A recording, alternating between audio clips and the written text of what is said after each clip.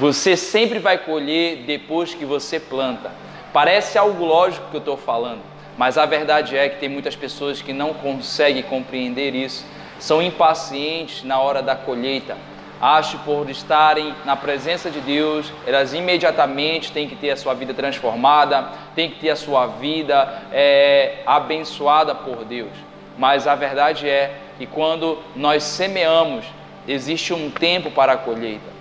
E é aí que nós temos que apresentar a paciência. A palavra de Deus diz em Eclesiastes capítulo 11: Lança teu pão sobre as águas, porque depois de muito dia você vai achar.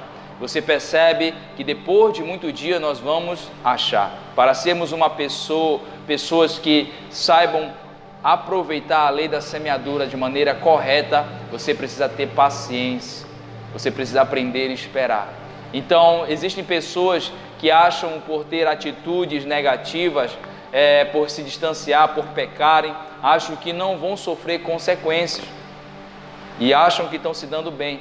Mas a verdade é que um dia a conta chega. E é justamente também para uma pessoa que está vivendo em obediência, mesmo que aparentemente não vê acontecendo nada, a bênção de Deus chega, a colheita daquele ato lá atrás vai chegar.